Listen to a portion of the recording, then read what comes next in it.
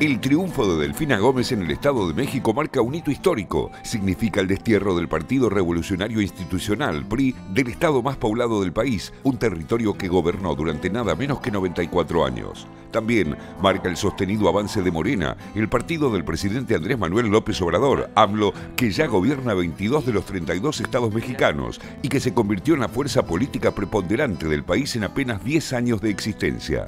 Por si fuera poco, la gran ganadora del domingo pasado, una de las alfiles más cercanas, se convirtió en la primera gobernadora mujer del estado donde viven casi 17 millones de habitantes y que contiene el mayor caudal electoral mexicano. Que sea una ciudadana me da esa gran satisfacción de que el pueblo solo puede salvar al pueblo. Delfina Gómez es también un hito en sí misma y lo es para el propio AMLO, quien deberá abandonar el poder el año que viene. Gómez es maestra, hija de un albañil y de una costurera. Nació hace 60 años en el seno de una familia pobre en Texcoco, al oriente del estado que hoy le toca gobernar.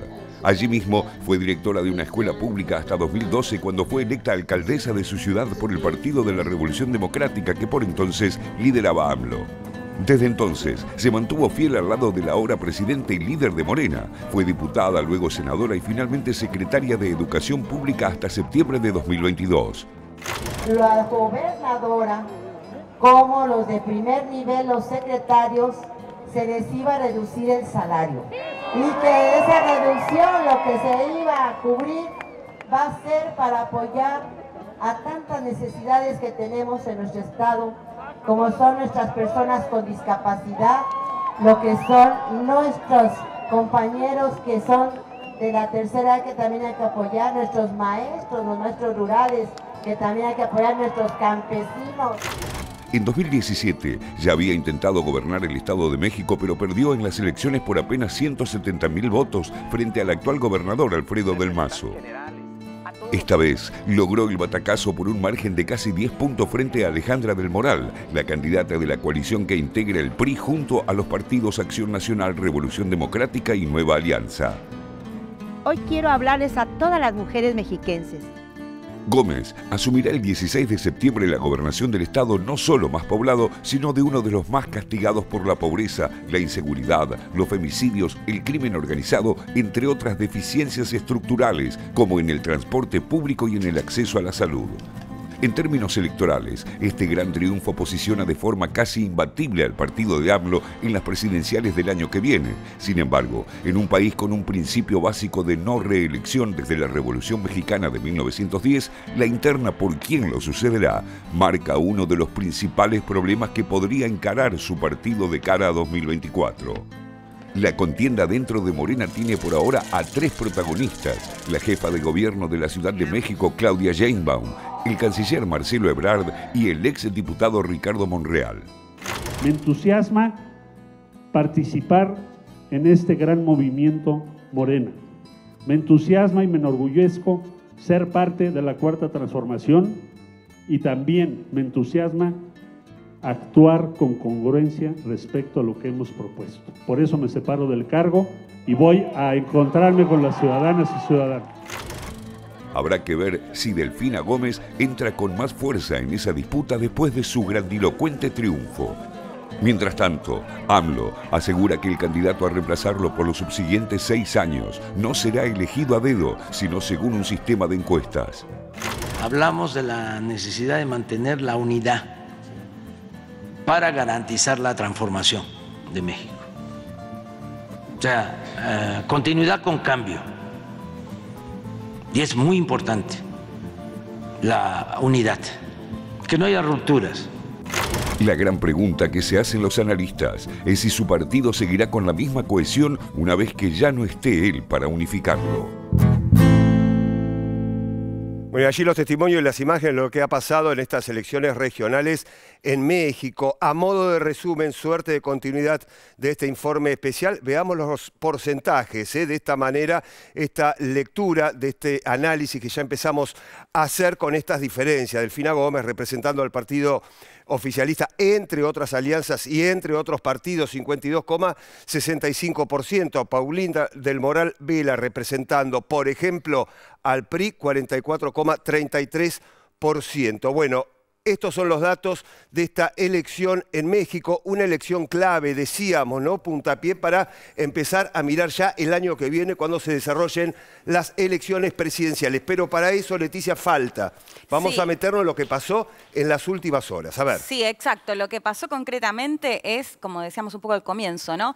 Eh, Morena, si se quiere, ratifica su Mm. poder, su apoyo en México. ¿Por qué? Porque, bueno, esta elección, como decía el informe, casi 100 años gobernado por el PRI, es decir, que es una victoria histórica, además de la relevancia, por supuesto, que tiene el Estado de México, el Estado más poblado del, mundo, del mundo, perdón, de México. Eh, bueno, ¿qué pasa con esto? Eh, Morena ya pasa a gobernar 22 de los 32 estados. Y por supuesto se empieza a ver la elección del 2024 en poco más de un año y también a nivel regional, por supuesto, por Sí, la importancia de México. ¿Qué es lo que empieza a pasar ahí? Bueno, por supuesto, ya surgen algunos candidatos. Entre los que más suenan está el canciller Marcelo Ebrard, que es un canciller eh, muy popular, muy conocido a nivel regional. López Obrador es un presidente que ha viajado muy pocas veces, creo que lo ha hecho a Centroamérica, a Estados Unidos y no mucho más. Es decir, que el canciller adquirió, eh, bueno, muchísima eh, preponderancia, si se quiere, en los medios de comunicación a nivel regional. ¿Cuál es la disputa? Porque Ebrard ya anunció que él va a renunciar. Hay ahí un intercambio acerca de si los candidatos que, o quienes quieren ser los sucesores de AMLO tienen que renunciar a sus cargos o pedirse una licencia, que es un poco lo que parece buscar Claudia Sheinbaum, que es la alcaldesa, la intendenta de la Ciudad de México, que es otra de las candidatas que suenan y de manera muy fuerte. Esto se espera que lo decidan, creo que después lo van a comentar más los chicos, Sí. en el Consejo, el encuentro que tiene Morena mañana, así que ahí vamos a conocer un poco más eh, en detalle. ¿Qué sumar a todo esto? Y, y ya cedo el paso. La particularidad, me parece, de esta elección en México es que eh, López Obrador tiene una popularidad de más del 60%, ¿no? Eh, algo que no tienen prácticamente los mandatarios de la región, a excepción de Bukele, que lo hemos contado de algún otro caso de Centroamérica. En cinco años de gobierno, que ese es otro dato, ¿no? Porque está lejos ya de Ya la luna finalizando su de mandato, miel. claro. Finalizando, recordamos, un- Sí, las sí. gestiones son de seis años y no tiene reelección. Mm. Es importante porque además, según las encuestas, no solo tiene que ver con la figura de AMLO, sino quien se presente por el Partido Morena tiene realmente posibilidades de ser reelecto. Por eso, bueno, es bien interesante un AMLO que dice que no lo van a elegir a dedo, pero me parece que lo que vamos a empezar ya a ver con más fuerza en México es quién finalmente Claro. eh, va a ser al menos el candidato a suceder al mandatario mexicano. Juan. No, creo que ahí está la clave, ¿no? Sí. Acerca de cuánto de lo que vemos de popularidad responde a AMLO, a la figura Sí, de claro. AMLO con su carisma, y cuánto a Morena, ¿no? Ese- a ver, un poco después de- del informe que vimos y, y de la noticia del fin de semana, eh, un poco la clave que ya se viene hablando desde la llegada de AMLO al poder es si Morena, ¿no? la estructura de AMLO, eh, viene a reemplazar lo que fue el PRI, ¿no? el gran partido del siglo XX, pero que también conserva ¿no? mucho protagonismo en la política mexicana. ¿no? Esta idea de, de Morena como el nuevo PRI. Ahora, hay una diferencia, o, o- o la pregunta es si hay una diferencia, porque el PRI lo que veíamos era que, que quizás había líderes más importantes o más populares que otros, pero siempre la, la hegemonía estaba puesta en el partido. O sea, era el presidente quien elegía un sucesor, ¿no? las bases tenían importancia, pero al fin y al cabo el poder y la hegemonía residían en el partido. Morena es una plataforma que históricamente, desde el comienzo, eh, respondía al liderazgo de AMLO. ¿no? Ahora estamos viendo, por supuesto, otros cuadros y la gran pregunta es ahora si se puede institucionalizar, como Claro. lo hizo el PRI, ¿no? digamos, como partido. Eh, y efectivamente creo que después de- de- del Consejo de mañana vamos a tener quizás un poco más claro cómo va a ser esa competencia interna, que también es muy sui generis. ¿no? O sea, AMLO habla de las encuestas, hay que ver Sí. cómo se hace eso, ¿no? porque insisto, antes era el presidente quien eh, de- eh, designaba en ese famoso dedazo ¿no? a Claro, su encuestas internas, le dicen. Claro, eso va a ser extraño. Y un apunte más respecto al tema de hablar que Leti decía bien, es raro que sepamos el nombre de- del canciller de México. Y eso tiene que ver también con un poco el rol que ha tenido México en la región y cómo Ebrard, también ayudado por esta ausencia de AMLO en el escenario internacional, ha adquirido mucho protagonismo y quizás también este rol que vemos de México en una posición más constructiva a nivel latinoamericano, pero también responde a la propia iniciativa de, de Ebrard, que quiere construir poder justamente tejiendo, por ejemplo, esta alternativa a la OEA, ¿no? que involucra también a la región. Entonces quizás ahora veamos con Ebrard corrido de la Cancillería, bueno, un rol menos activo quizás de México en el escenario internacional, o regional, mejor dicho, porque Ebrard ya no es más el canciller. A ver, Ever.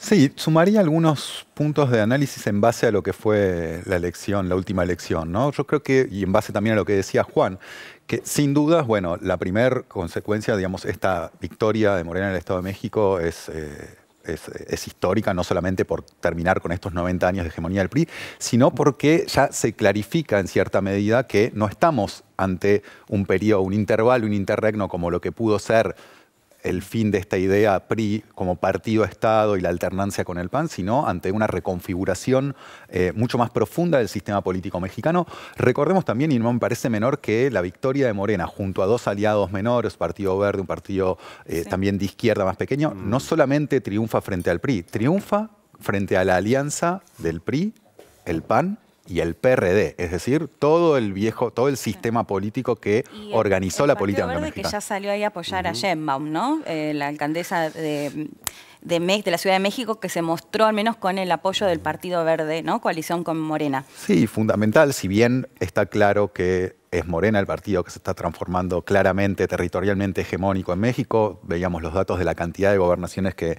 administra. Leí ayer datos en base al análisis de los votos que marcaban que tres de cuatro mexicanos ya viven en territorios gobernados por Morena, mm. digamos, si lo analizamos en términos de cuantitativos y de, habitantes. Pero tampoco es menor lo que señalás, esta alianza con partidos eh, verdes y de izquierda de menor, caudal electoral, porque allí donde el PRI pudo sostener algún tipo de eh, bastión electoral, lo hizo en lugares donde esta alianza de la izquierda fue separada y esta alianza que va, digamos así, ya no sé si vale esta calificación, pero del centro PRD hasta el PRI y el PAN, sí fue unida y logró sostenerse electoralmente. Eh, está claro entonces que es el, eh, Morena el partido que está eh, modificando el tablero político mexicano y también geográficamente. Veíamos ayer también cómo esa ruptura histórica o esa división histórica en la cual el PAN y el PRI dominaban el norte de México, el PRI y el PRD, es decir, lo que en su momento era la centroizquierda o la izquierda que el partido de AMLO viene en cierta medida a reemplazar, gobernaba, gobernaba el sur, se rompe también porque Morena logra imponerse tanto en alcaldías tanto en el norte como en el sur de México. Decir, claramente estamos ante una reconfiguración política eh, profunda. Vamos a ver cómo se vincula eh, el partido de AMLO también con lo que son las estructuras de poder del Estado de México, que no son menores. Recordemos que buena parte de lo que sería la financiación y los modos de la administración económica del PRI se basaban también en un conjunto de negocios inmobiliarios, de transporte, de logísticas del Estado de México. Vamos a ver ahora qué implica eso. Es un golpe no solo político, sino también económico y estratégico para el PRI, por eso hablamos un poco de, esta, de este reemplazo, de esta finalización finalmente terminal tal vez de una época, y también la incógnita sobre cómo Morena se va a relacionar y se va a vincular con esos eh, poderes económicos que en su momento el PRI administró y con los cuales también eh, se vinculó durante muchísimos años. Bien, la realidad política de México luego de las elecciones regionales es un tema que vamos a seguir analizando en los próximos sábados. Pero